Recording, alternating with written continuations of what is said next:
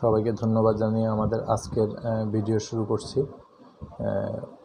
যারা civil engineering fourth year student, তারা পাশ করে বের হওয়ার আগে বিভিন্ন ধরনের কনফিউশন নিয়ে থাকেন যে পাশ করার পরে তারা কি করবেন এবং কোন ধরনের চাকরি তারা করবেন, কি কি সেক্টর আছে, এই বিষয়গুলো আসলে আমাদের বিশ্ব বিশ্ববিদ্যালয়গুলোতে এখনও ওইভাবে ক্লিয়ার করা হয় না। এরকম সেমিনার বা এগুলোর অ্যারেঞ্জমেন্ট কিছুটা শুরু হয়েছে, কিন্তু অত ব্যাপকভাবে বিষয়টা এখনও শুরু হয়নি। তো সেই জন্য আমার আজকের ভিডিওটা তৈরি করা। নর্মালি যেটা হয়, আমরা জানি বাংলাদেশের প্রেক্ষাপটে গভর্নমেন্ট জব এবং প্রাইভেট জব তো এই দুইটা জব জবের মধ্যে থেকে কোনো একটা বেছে নেয় সবাই। তো আপনি যদি বেসরকারি জব বা প্রাইভেট সেক্টরে জব আপনি করতে চান, তাহলে কোন কোন বিষয়গুলো খেয়াল রাখতে হবে, সেটাই আমাদের আজকের ভিডিওর টপিক আপনি যদি সিভিল ইঞ্জিনিয়ার হন, তাহলে আপনার প্রথমে দুইটা জিনিস চিন্তা করতে হবে। একটা হচ্ছে, আপনি কি অফিসিয়াল জব করবেন নাকি প্রজেক্টে জব করবেন? সেটা একটা গুরুত্বপূর্ণ বিষয়। এখন আপনার প্রথম কোশ্চিন তাহলে আসবে যে, কোনটা করা ভালো হবে?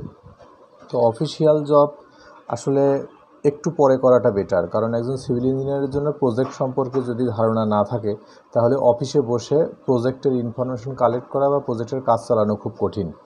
সেই দিক দিয়ে প্রথমে প্রজেক্টে চাকরি করা ভালো কমপক্ষে তিন বছর। যদি একটা একজন সিভিল ইঞ্জিনিয়ার প্রথম তিন বছর প্রজেক্টে চাকরি করেন, তাহলে ওই প্রজেক্ট সম্পর্কে অথবা একটা প্রজেক্ট সম্পর্কে তার একটা মোটামুটি ক্লিয়ার ধারণা থাকে।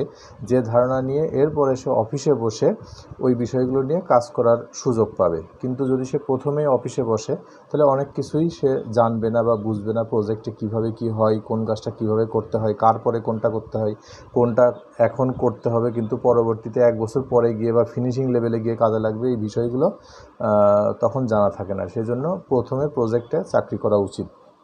আর যদি মনে করেন প্রজেক্টে চাকরি করতে গেলে কোন কোন বিষয়গুলো খেয়াল রাখতে হবে? প্রজেক্ট ম্যানেজমেন্ট অ্যাকচুয়ালি দুনিয়াতে ডাক্তার ইঞ্জিনিয়ার বা যে কোনো পেশায় বলেন ম্যানেজমেন্ট সবচেয়ে ইম্পর্ট্যান্ট যার ম্যানেজমেন্ট ভালো, তার ডেভেলপমেন্ট ভালো।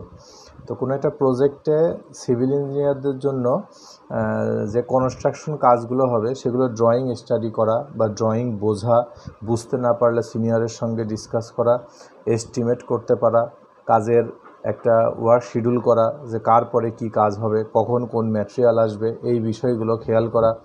এবং এখানে একটা সবচেয়ে বড় বিষয় হচ্ছে আমরা যারা সিভিল ইঞ্জিনিয়ার তাদের হ্যান্ডেল করতে হয় লেবারদেরকে তো এটা একটা খুব সেন্সিটিভ বিষয়, সবাই এটা পারে না।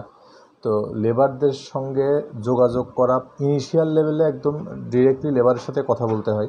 আস্তে আস্তে এক্সপিরিয়েন্সড হবেন, তারপরে আপনার সাবঅর্ডিনেট আসবে, তখন তারা এটা হ্যান্ডেল করবে, আপনি আপনার সাবঅর্ডিনেটের সাথে কথা বলতে পারবেন। কিন্তু at the very first point of your job আপনাকে ডিরেক্টলি লেবার হ্যান্ডেল করতে হবে। তো এটা একটা গুড লেসন বিকজ এই প্রফেশনে আসলে এটা পারতে হবে। আর একজন সিভিল ইঞ্জিনিয়ার হিসাবে একটা প্রজেক্টের ডিউটি যদি আপনি মনে করেন যে আটটা, পাঁচটা ডিউটি হবে, তাহলে এটা একটা ভুল ধারণা হবে। আমরা পাশ করে যখন বের হই, আমাদের মনে হয় যে আমরা সিভিল ইঞ্জিনিয়ার আমরা